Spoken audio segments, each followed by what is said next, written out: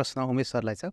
कर्मचारी ट्रेड युनियनका पदाधिकारीहरू विशेष गरी लोकसेवा आयोगको उपसचिव सहसचिव र नेतृत्व क्षमतामा सचिव समेत ट्रेड युनियन कर्मी भएकै मान्छेहरू बढी नेतृत्ववान क्षमतावान र सामूहिक सौदाबाजी र प्रशासनमा अब्बल देखिन्छन्।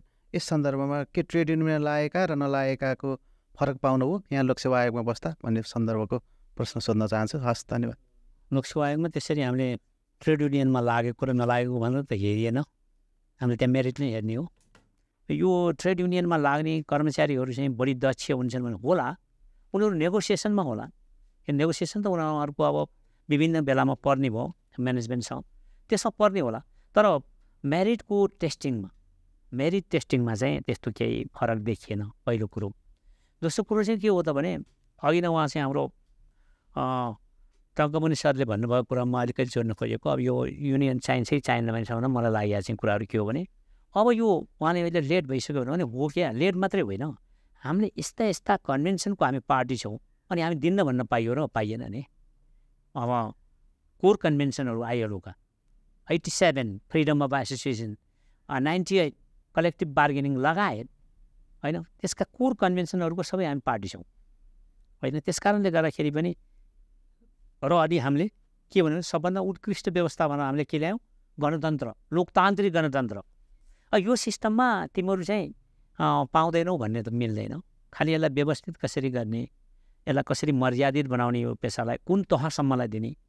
अनि उहाँहरूले पनि आफ्नो चाहिँ कोड अफ कन्डक्ट बनाएर कसरी मर्यादित रूपमा जनताको मन जित्ने गरी र जनप्रतिनिधिहरूको पनि मन जित्ने गरी र म्यानेजमेन्टको पनि फेरि म्यानेजमेन्टले पनि के फिल गर्नु पऱ्यो भने उहाँहरूलाई चाहिँ एक्सक्लुड गर्नु हुँदैन उहाँहरू सही नै कुरा गर्नुहुन्छ नत्र हामीलाई भित्र जेसुकै भए पनि अप्ठ्यारो पऱ्यो भने उहाँहरूले पनि यो ठिकै कुरा गरिरहेछन् भन्ने रियलाइज गर्ने वातावरण बनाउनु पर्ने हुन्छ अब यहाँ सबभन्दा दुःख लागेको कुरो किन राजनीतिज्ञहरू।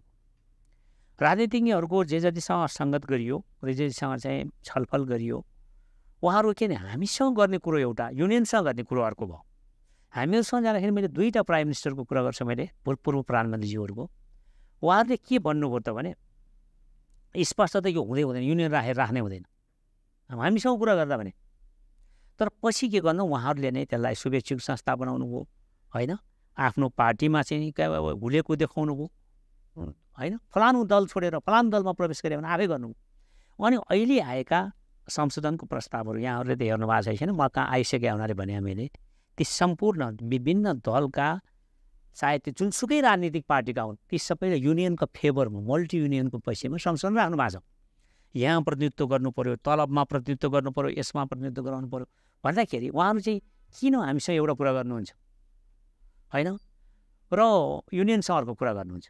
त्यसैले गर्दा के भयो त भने यो देखाउने र ऊ चाहिँ फरक फरक व्यवहार राजनीतिज्ञहरूले गर्नु हुँदैन जहाँ राजनीतिक नेतृत्वमा हुनुहुन्छ।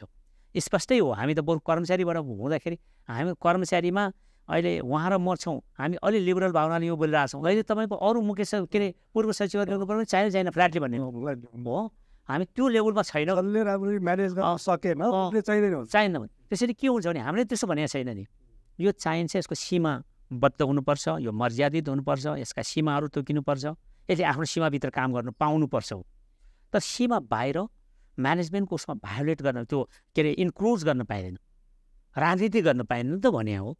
त्यसले गर्दाखेरि यी चिजहरूमा खुसीको कुरो के पनि लाग्छ भने यो सडचालिस अडचालिस सालको सुरुका अवधिहरूमा जुन पार्टी पछि खुलेर एकले अर्कोलाई चाहिँ ठटाउने र एकले अर्कोलाई पेल्ने एउटाको गभर्मेन्ट गिराउने र अर्को गभर्मेन्टलाई आएपछि अर्कोले गर्ने जागिर खोज्ने यस्ता खालका क्रमहरू घट्यो र अहिले म्यानेजमेन्टलाई दबाब दिएर सरुवा र उसमा पोस्टिङ दिने क्रम पनि घट्यो केही अगाडिको घटना केही अगाडिको भन्दा पनि केही वर्ष भयो होला हामी नै सचिव थियौँ। यो युनियनका कर्मचारीले चाहिँ कामै गर्नु पर्दैन। भन्ने एकजना मन्त्रीज्यूले निर्णय गर्नुभयो भने थाहा छ नै। त्यो चाहिँ गल्ती थियो त्यसो गर्नु हुँदैन। उहाँहरू पनि कर्मचारी उहाँले तलब खानुहुन्छ। उहाँले हकितको लागि आफ्नो समयमा गर्ने हो तर अफिसमा कामै नगर्ने भन्ने कुरो। आयोले दिएको छुट त एउटा हो नि उनीहरूको सङ्गठनको क्षेत्रबाट बाहिर सरो नगर भने हो। त्यो चाहिँ हो। उहाँले जहाँ सङ्गठनको प्रतिनिधित्व गर्नुभएको छ त्योबाट चाहिँ फेरि म्यानेजमेन्टले त्यसलाई सताउनलाई। अन्त सरुवा गरेर त्यो चाहिँ प्रोटेक्सन दिए त्यसबाहेकका कामहरूमा तपाईँको चाहिँ नै उहाँहरूले अफिस टाइममा काम चाहिँ गर्नुपर्छ। म युनियन प्रिभिलेज पाउनु हुँदैन। त्यो त भेदभावै भइहाल्यो नि। होइन? उयो हाम्रो प्रशासनिक भाषामा हाम्रो म्यानेजमेन्टको भाषामा भन्छौँ नि हामी। केही कर्मचारीहरू पोस्ट वर्कर हुन्छन् भने क्या? पेबिलमा मात्रै हुने पोस्ट वर्कर भने जस्तै हो। त्यो चाहिँ हुनु भएन।